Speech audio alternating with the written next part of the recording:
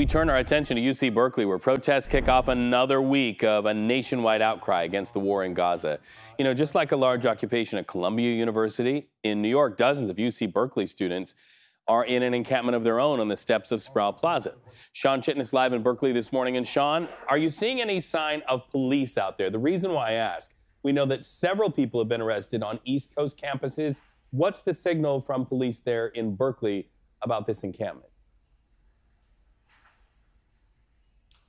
Hey, Reed, good morning. Well, we do know that there were several patrol cars in the street that leads to one section of campus that then can give you access to the main thoroughfare where we're standing. But we're not seeing anyone up close and near the tents like we have seen at those other locations you're referencing.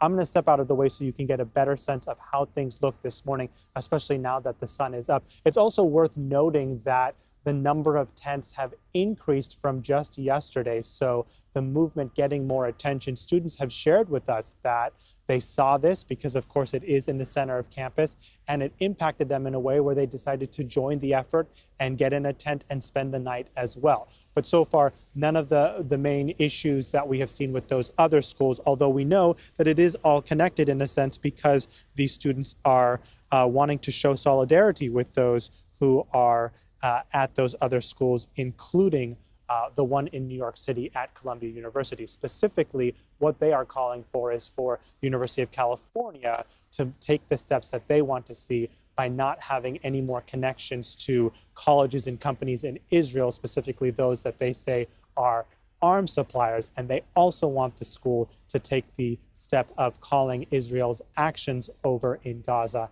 as a form of genocide.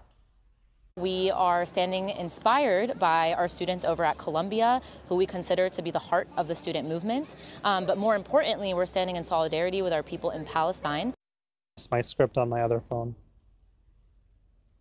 All right, so in a statement, the university said that with three weeks left in the semester, Berkeley is prioritizing students' academic interests. We will take the steps necessary to ensure the protest does not disrupt disrupt the university's actions. And then that statement goes on to say there are no plans to change the university's investment policies and practices. So if you see here again on this main stretch right behind me, there is Sather Gate. There has been a daily vigil protest at this location since February. And so that, in addition to what we now see over here, right in front of the administration building, on these steps gives you a better sense of just how much that is taking over the campus and certainly the effort behind us trying to be a 24 7 response. Reed back to you.